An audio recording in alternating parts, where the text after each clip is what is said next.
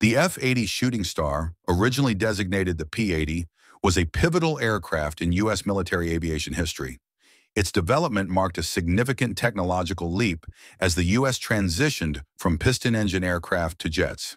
The story of the F-80 is a tale of urgency, innovation, and the Cold War pressures that shaped military aviation in the mid-20th century. Origins of the F-80 The development of the F-80 began during the latter stages of World War II, a time when the world of aviation was rapidly evolving. In Europe, the German Luftwaffe had introduced the Messerschmitt Me-262, the first operational jet fighter, which showcased the potential of jet propulsion in combat. The Me-262 posed a significant threat to Allied air superiority and it became clear to U.S. military planners that they would need to match or surpass this new technology if they hope to maintain air dominance in future conflicts. In response, the U.S. Army Air Forces sought to develop their own jet fighter. This urgency was compounded by the fact that Germany's advancements in jet technology threatened to shift the balance of power in the skies. In 1943, the U.S. Army Air Forces issued a formal request for a jet-powered fighter capable of matching the Me-262. Enter Lockheed. The company's chief designer, Clarence Kelly Johnson, was one of the most innovative and forward-thinking engineers of the era. Johnson led the team at Lockheed's famed Skunk Works, a secretive development division known for rapid innovation and high-level projects. In 1943, under Johnson's leadership, Lockheed began work on what would become the F-80 Shooting Star. The timeline was ambitious. U.S. Army Air Forces wanted a prototype within six months, an incredibly tight deadline for a cutting-edge experimental aircraft. Development and design challenges. The P-80's design was centered around the General Electric J-33 turbojet engine, a jet engine that could deliver the necessary thrust for high-speed flight. The challenge for Johnson's team was not only in designing an airframe that could house this engine, but also ensuring that the aircraft could operate at speeds and altitudes far exceeding those of traditional piston engine planes. The design of the P-80 featured a straight wing configuration, a choice driven by the limitations of aerodynamics at the time, though later jet fighters would adopt swept wings to deal with the challenges of compressibility and drag at high speeds. The P-80's straight wing design was suitable for early jet propulsion. Its sleek, streamlined fuselage allowed it to achieve speeds approaching 600 miles per hour, making it one of the fastest aircraft of its time. Remarkably, the first prototype, the XP-80, was completed in just 143 days, an astonishing feat of engineering.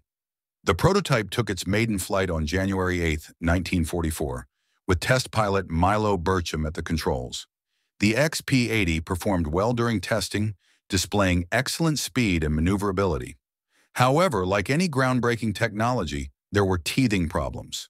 Refinements were made to the airframe and engine, and subsequent prototypes were built to test different configurations and correct early issues.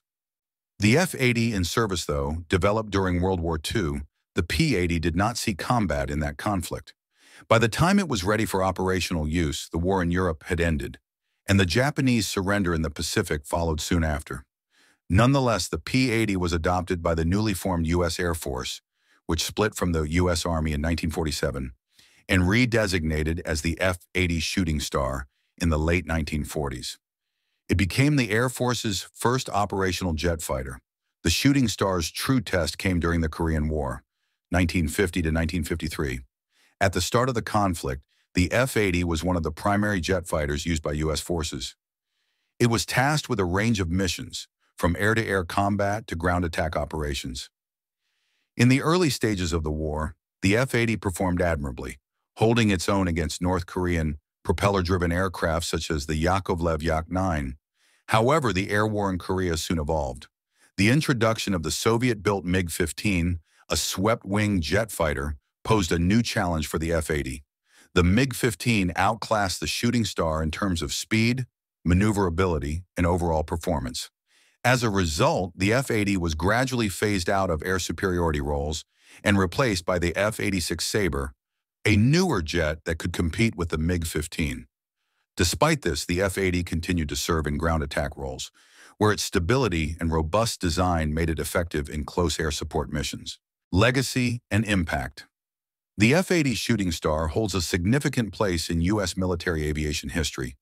It was the first U.S. jet to achieve an air-to-air -air kill when Lieutenant Russell J. Brown shot down a MiG-15 on November 8, 1950. This marked a milestone in the transition from propeller-driven combat to jet-powered aerial warfare. While the F-80 was eventually overshadowed by more advanced jets like the F-86, its development paved the way for the jet age in the U.S. military. The technological advancements made during the P-80 program influenced future aircraft designs and established Lockheed as a leader in jet propulsion technology. Moreover, the F-80's legacy extended beyond its service life. Its design was the basis for the development of the T-33, a two-seat trainer version that became one of the most widely used jet trainers in the world.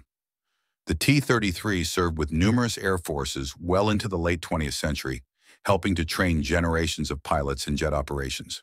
Conclusion The F-80 Shooting Star was developed at a time of immense pressure, driven by the need to match the jet technology pioneered by the Germans during World War II.